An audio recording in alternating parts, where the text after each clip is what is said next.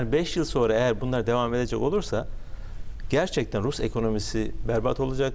Halkı ciddi bir şekilde O zaman fakirleşecek. bunu Amerika'nın Ve yaptıkları yapmadıkları Rusya'yı durdurmak için, caydırmak için e, onlar biraz herhalde tartıştığımız mesele aslında oraya düğümleniyor. Yani burada askeri bir şey yapsa dünya savaşı çıkacak. işte ama işte bir yani bu soru şu açıdan önemli bizim için. Yani şimdi e, bir ülkede hani demokratik bir rejim varsa, seçimle gelen seçimle giden işte e, bir iktidar varsa, ha bunlarla müzakere etmek bazı konuları, bunlarla ilerlemenin ben daha makul ve Tabii sonuç rasyonel bir zeminde gidiyor bunlar. Çünkü adam halkına hesap vermek zorunda yanlış bir karar verdiği zaman. Şimdi savaş açan bir lider seçime gittiği zaman onun sonucunu görecek. Sen savaş açtın, başımızı belaya soktun, ülkemizi şu karanlığa gömdün. Bir daha sana kardeşim seçimler çünkü adil. Değil mi? Oy moy yok diyecek. Şimdi Avrupa Konseyi gidip bu seçimleri Sayın Büyükelçim ya bu işi bizden çok daha iyi biliyor. Bu seçimleri Estağfurullah. gözetleyemeyecek. Ya bu seçimlerde hile var mı yok mu vesaire olmayacak. Yani ben aslında söyleyeyim pişiren var. Avrupa Konseyi aslında bu kararı alarak ben kanaatimi söylüyorum. E, Yani hemen e, dışarıya atması ve izole etmesi o e, modern dünyadan ya da demokratik dünyadan e, orada bir yeniden düşünmek lazım. Yani çünkü Avrupa Konseyi'nin amacı ülkeleri oradan ihraç ederek aslında şu anda Rus halkını bir otoriter rejime tamamen mahkum etti. Çünkü hesap verme bütün Ya kapılarını kapattı. sual. Agit bunun yerini alamaz mı? Kısmi olarak alabilir tabii. Agit seçim gözlemcileri yapıyor ama Agit'in e, sözleşmesi olmadığı için Agit'in hiç yaptırım gücü biliyorsunuz. Çünkü norm üretmiyor. Avrupa Konseyi'nin normları var. Avrupa işte yani sözleşmeye imza atmış Ruslar o sözleşmeye en azından kısmen tamamen uyuyor. Uymadığı zaman mahkemeye geliyor. Yani bir şu, e, dünya kamuoyunda en azından onların da sözleşmelerinde yüzde yüz yaptırım gücü olmamakla beraber çünkü nihayetinde parlamentodan geçireceksiniz. Bazı sözleşmeler geçmiyor oradan veya geçirmiyorlar.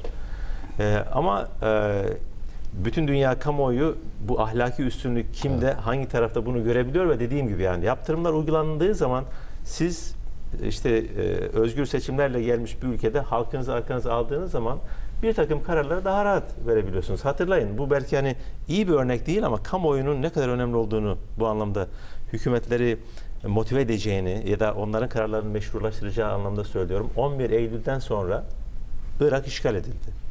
Bakın Irak işgal edilmeden önce kamuoyunu inanılmaz bir şekilde etkilediler. Ve kamuoyu o dönemde Irak işgal... Ya savaş yanlısı olabilir mi bir modern insan savaş yanlısı olur mu? İnsan, hümanist, demokrat falan diyoruz değil mi? Eğitimli. Ve insanların büyük bir çoğunluğu Amerika Birleşik Devletleri'nde Irak'a savaşı haklı gördüler. Ve bunun üzerine Bush o dönemde çok daha rahat karar verip de oraya girebildi. Kamuoyunun %70 hayır deseydi girebilir miydi oraya? Hayır. Giremezdi. Yani çok zor olurdu daha doğrusu. Yani ama bunu Putin yapabiliyor. %90 karşı olsa O Putin zaman yapar. şimdi gelinen noktada Putin'e iki seçenek kalıyor. Ya daha agresif olacak ya da yok olacak. Yani bu İşte biz de diyoruz ki başka bir işte orta yol. Bu da Sayın Büyükelçin farklı şekilde ifade ediyor. Ben farklı şekilde ifade ediyorum. Ben diyorum ki onurlu bir çıkış. evet. Bu çıkışta her iki tarafında diyorum ya az üzülerek çıkabileceği bir formül. Aynen. Bu her ikisinde Sayın Büyükelçimiz daha Yoksa- realist bakış açısıyla söylüyor. Bir şekilde Yoksa işte kıra döke gidecek yani bu iş. Bulması zor gibi zor geliyor formül. hocam bana. Elbette zor. Çok zor bir formül. Çünkü buradan şöyle bir şey çıkarsa o zaman dünyanın başı çok ciddi bir belaya girebilir. Yani buradan Rusya istedikleriyle çıkarsa yani işte anayasasını değiştirecek, tarafsız olacak, NATO'dan tamamen vazgeçecek. Bakın NATO'dan vazgeçebilir. Ben onu anlıyorum. Evet. Ama toprak bütünlüğünden nasıl vazgeçebilir? Hocam peki NATO'dan vazgeçti. 5 sene sonra başkası seçildi. Ben sizi NATO'ya sokacağım diye. Bir daha mı tekrar baştan mı başlayacağız yani buna? Ya şimdi tabii o zaman şöyle bir şey olacak yani bu, bu meseleleri gözetleyen, bu ülkeyi e, etkileyen unsurlar olacak. AB, Amerika Birleşik Devletleri, ekonomik oradaki gelişmeler vesaireler yani Ukrayna halkı ona göre bakacak. Yani bu e, olayların nasıl riskler doğurduğu geçmişte görecekler, göre- görecek. 5-10 sene sonra insanlar bunu görecek. O nedenle savaşmamanın, orada barışı e, işte korumanın yollarını arayacak zaten istersen. Ama hocam şimdi 35 milyon insan dese ki biz NATO'ya girmek istiyoruz kardeşim. Buna kim engel olabilecek? Şimdi Elbette sev- yani sevgili öyle- dostum bunu diyemez.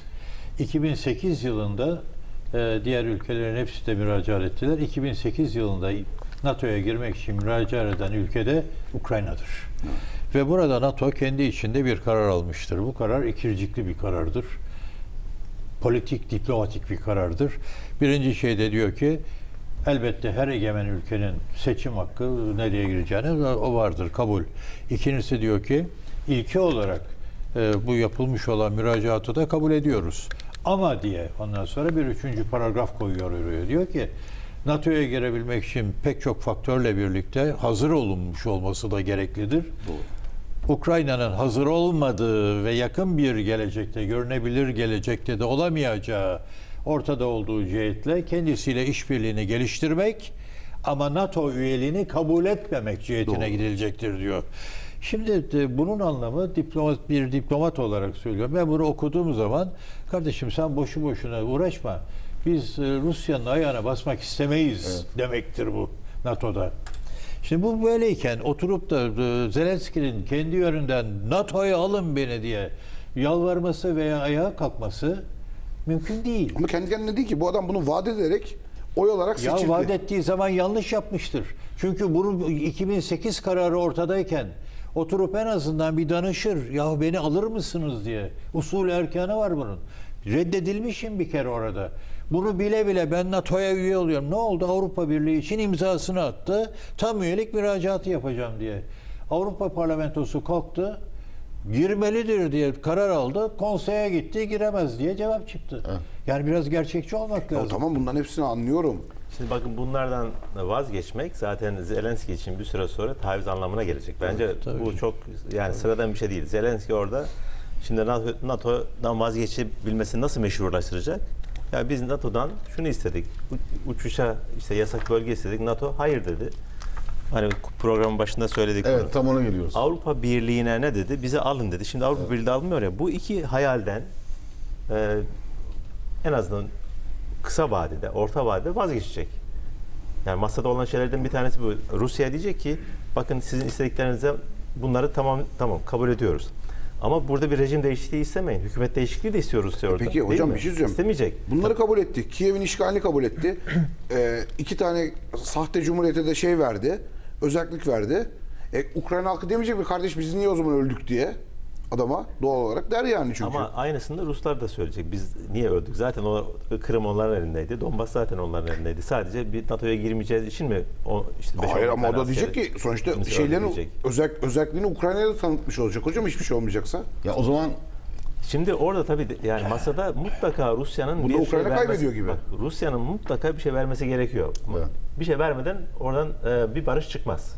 Şöyle Ama bu şekilde. ama vereceğini Onun ne olacağını ne, ta- tabii tabii onun ne olacağını biz söylememiz çok zor. Masada biz yokuz çünkü. Ama yani biz sadece buradan Biraz bir kardan akıl, zarar edecekler akıl de. yürütüyoruz. Evet.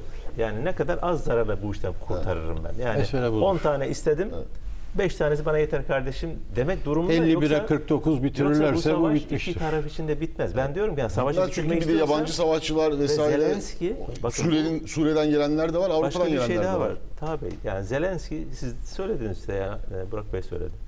Zelenski'den bir kahraman yaratıldı. Yani bu Zelenski kendini iyice meşrulaştırdı ve güçlendirdi orada. Doğru. Bundan sonraki 20 senesi Ukrayna'nın Zelenski'li gidecek. Şöyle Hocam bu şekilde. bir şey alamazsa Şimdi Zelenski alıyor de işte gider. yani. Hayır, bakın şu anda Rus askerinin oradan çıkması demek zaten Zelenski'nin alacağı Evet, demektir. evet. Ama hocam her şeyi verdikten sonra millet diyecek ki eğer Rusya'nın her istediğini verirse o Zelenski. zaman o zaman bataklık olacak. Bir çatışma haline Evet. dönecek. Ki Hani o şartlar hazır şu an. Saha Hani ona bir hazır. klişe var. savaşa Bir hazır. klişe Ya laf da var. Suriye'ye ben olmaya hazır. hiç onaylamadığım bir şey bu. Yani çok özcü bir yaklaşım. Hani bazıları Orta Doğu bataklığı diyor ya. Evet. Ya çok yanlış bir ifade bu ama. O zaman bir Ukrayna bataklığı çıkacak. Evet. Ve bu bataklık eğer durdurulmazsa bizi de etkileyecek. Dü- dünyaya. Ki dünyaya etkileyecek hocam. Tabii. Zaten Polonya'ya doğru e, Evet. mutlaka gidecek. İşte vesaire vesaire. Rusya yani da burada- gidecek. Rusya tabii, da çöküyor. tabii yani her açıdan bakın. Rusya ne verecek hocam işte yani asıl mesele Rusya neyi kabul yani Rusya neden taviz verecek? Ya mesela Donbas meselesinden vazgeçebilir gibi geliyor bana. En rasyonel seçenek o gibi görünüyor. Öyle. Yani komple vazgeçecek. Özellik, özellikten ediyor. Da- daimi Özellik- tarafsızlığı zaten kabul etsin. Zaten kabul ediyoruz. Evet, başta istediği şey oydu. Ukrayna Sonrasında bağımsızlık istedi. Yani şey, bağımsızlığı değil, özelliği kabul yani biliyorsunuz Minsk e, zaten şeyinde o Evet. var. E, Açıktı o. İmza. Açıktı o. Evet. Oraya bir özellikle Normandiya'da döktürsün, Tekrar Minsk'e imza- dönecek o zaman. artırmak vesaire gibi Aslında var. burada hocam Bir çıkış nükleer silahlar ve garantörlük de var. Yani 94 memorandum olması lazım. İngil- İngiltere ve Amerika'nın garantörlüğü söz konusu. Ve burada aslında müdahil olma hakları da var. Yani uluslararası hukukça hani e, Ukrayna'nın e, güvenliği söz konusu olduğunda ve en- en- enteresan olan Rusya iç kamuoyunda da şunu sürekli pompalıyor. Ya Ukrayna nükleer sahibi olacak. Yani genel anlamda söylediği şey bu. Biz bunu engelledik. Ukrayna genel anlamda Ukrayna nükleer zaten sahibi bu arada olacak. nükleer silahları vardı aslında. Bütün bu Evet, olaydan yani. çıkarılacak ders. Eğer nükleer silahınız varsa ne vaat ederlerse vaat etsinler o nükleer silahlarınızı vermeyin. Buradan çıkaracak ders bu. Daha fazla video izlemek için kanalımıza abone olabilir, ilk izleyen olmak isterseniz bildirimleri açabilirsiniz.